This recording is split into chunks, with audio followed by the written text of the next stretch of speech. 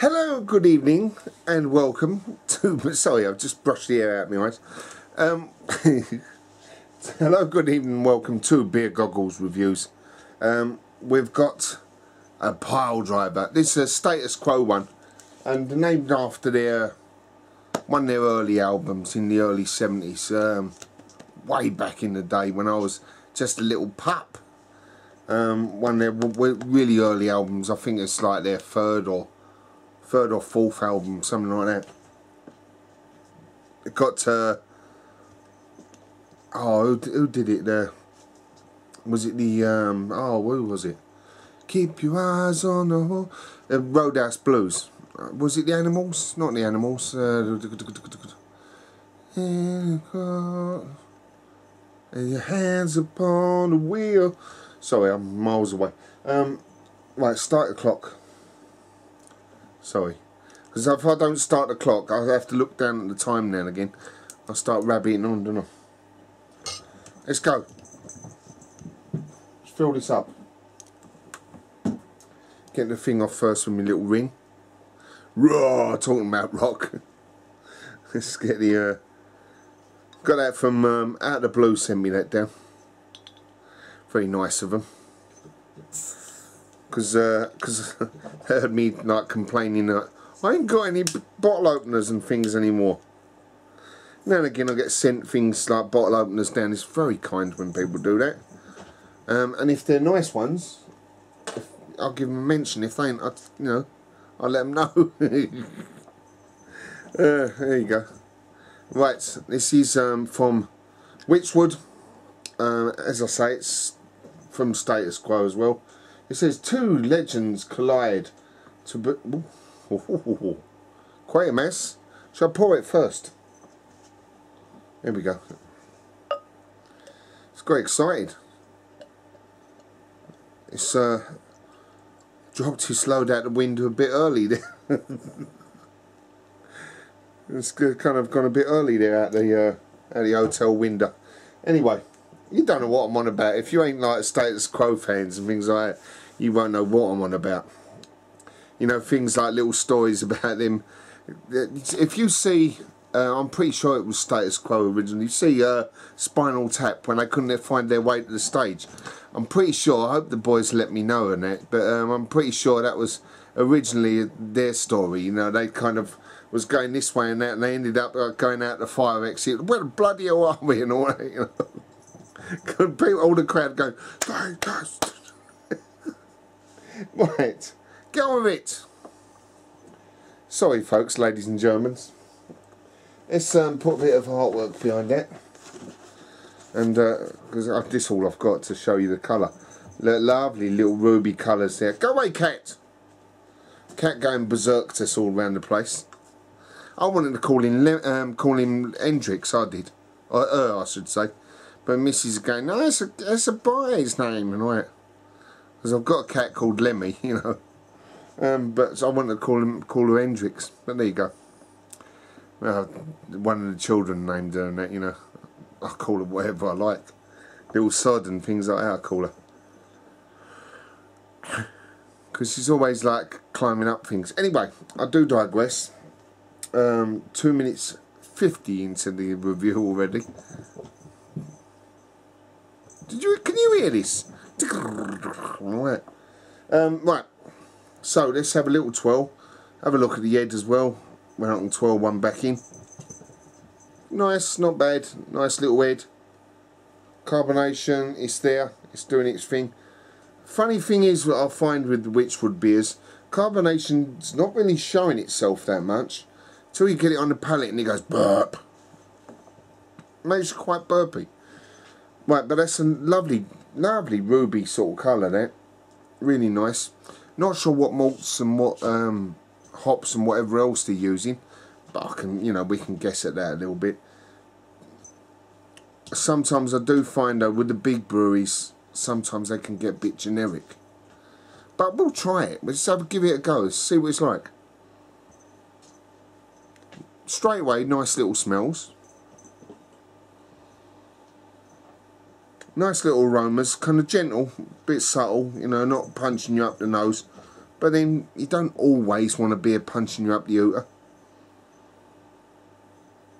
Sometimes I like them to lie to me and be really quiet and, and do that thing that you used to get in the old films when you'd get the, the young lady with the... You could always tell she was a stunner anyway, but they'd had all their hair up in a bun and whatever, and the glasses on, and he'd go, why, Miss Jones? Like that, take her glasses off, shake her hair out like that. And he go, oh, Miss Jones, you look beautiful. Great! That's cat running into the things and that. You do it again and see what happens. Got to move over now. Um, right, sorry. But I like beers that do that sometimes, that you smell them and you go, there's not really much on this. Taste it and you go, oh. Sometimes I prefer it to do that than than to punch me up the bugle and then and then be, you know, on the taste as well. Or sometimes punch you in the bugle and be nothing on the palate, you know. You do it again and see what happens. You heard? Go on. That's my cross voice and face. Scares me, I'm over this side. right. Let's have a taste. Cheers, everyone. And, uh, no, smell, wouldn't it? Not much on the smell at all. You've got tiny little, uh, little hot chestnut smells, but really distant. Like you're smelling them from a street away or something like that. Little currant notes in there.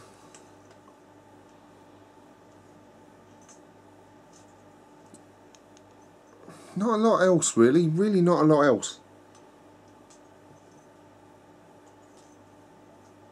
You're getting tiny little malty notes as well in there. Um, little kind of sweet sort of uh, not molasses but kind of along there but not that sweet you know and little burnt little no not burnt so much little candied pills candied orange pills. Now, go out, go on. Go on, never mind put you back up at me. Go on, get. I've got to show you this cat, look. I know it's going, going off the... Come here. Come in. Come in.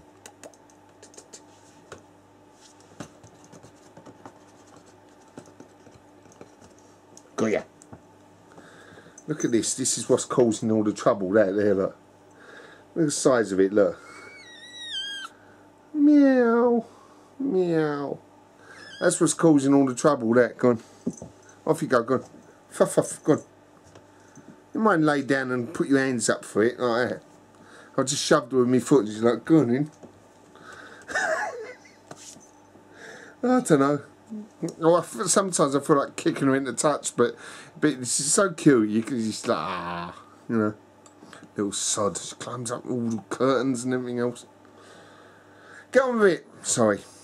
Sorry. Let's have a taste anyway. See what it what actually the important thing I think is to on the bleeding tongue and that. You know, yes you can sit there sniffing your beer all day and and it's nice. Some beers you just I would pay to just smell the bottle. Um, but you want to see what it's like on on the old palate and that, on the tongue and that. So just go. Cheers everyone. Bottoms up. Never mind that, go get it out.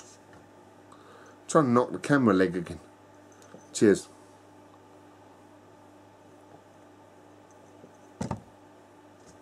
Go away. Go on.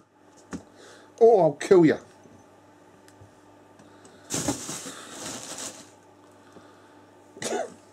I've got anything to poke her with. Right, go. Get out. Get out. Go on. That's shooter off. She'll be back. Um, this tastes really similar to one I just had of theirs. I don't know if it's the same beer. Imperial Red. Same colour. Really tastes the same. Um, what can I say? Uh, let's, have, let's see what I can bring out.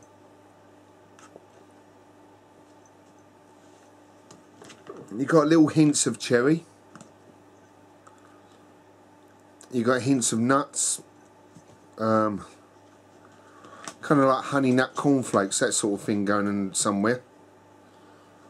Um, little bitterness note, little zesty note off of a, a pink grapefruit, something like that. A slight pink grapefruit bitterness. It's alright, it's, it's, it's not bad. It's, it's not bad at all. I want to, I want to try these side by side. Excuse me, other glass. Got me 1985 GBBF glass. Bloody hell, it's all nearly worn out now, look. Let's pour this, what remains of this one. This is the Imperial Red. Let's see if I taste them side by side, get anything different. Oh yeah. Yeah, now I've got it.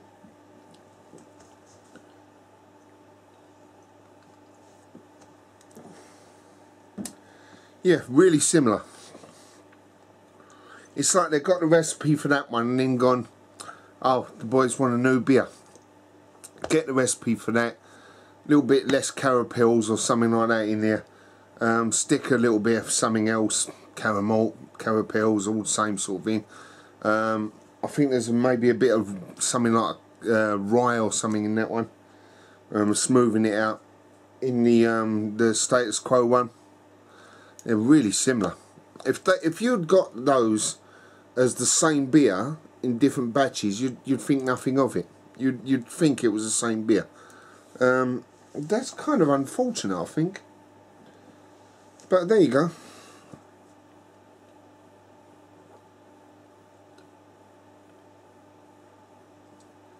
Very similar beer.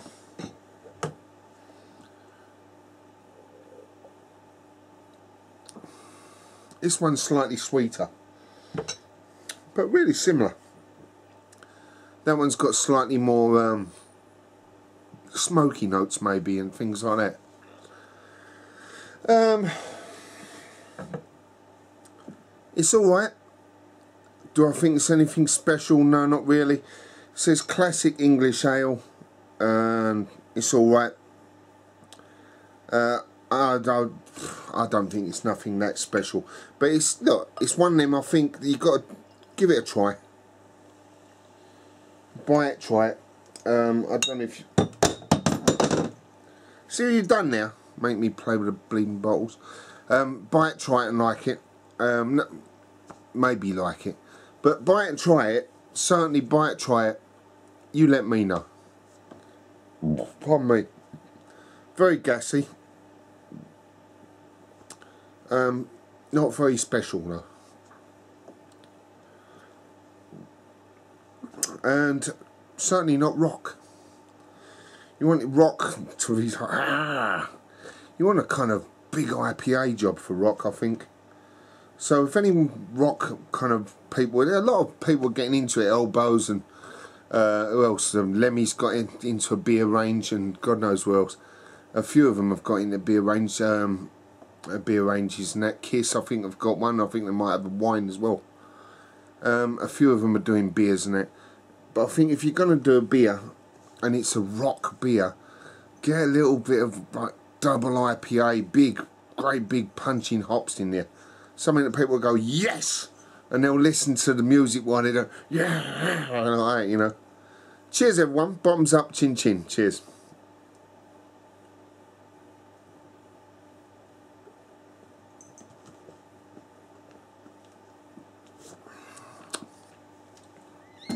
It's alright. But it's not special. See you in the next one. Biddly boo. Don't be late. I will start without you. Honest I will.